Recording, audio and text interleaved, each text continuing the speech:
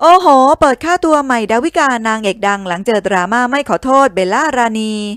กลายเป็นประเด็นใหญ่เมื่อใหม่ดาวิกาก็ได้ให้ประกาศขอยุติทำรายการ หลังเจอดราม่าเมาส์นางเอกตัวแม่แย่งซีน ก่อนเจอดราม่าอีกรอบ หลังไม่มีการเอ่ยขอโทษถึงนางเอกคนที่โดนโยงอย่างเบลล่ารานี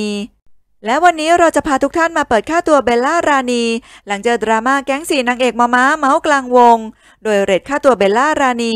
ละครที่เธอแสดงนั้นจะอยู่ที่ตอนละ 80,000 บาท ส่วนค่าตัวของงานโฆษณาจะเริ่มต้นที่ 9 ล้านบาทต่อชิ้น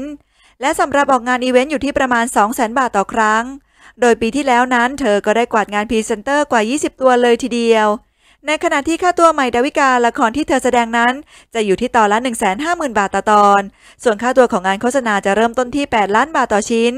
และสำหรับออกงานอีเวนต์จะอยู่ที่ประมาณ 200,000 บาทต่อครั้ง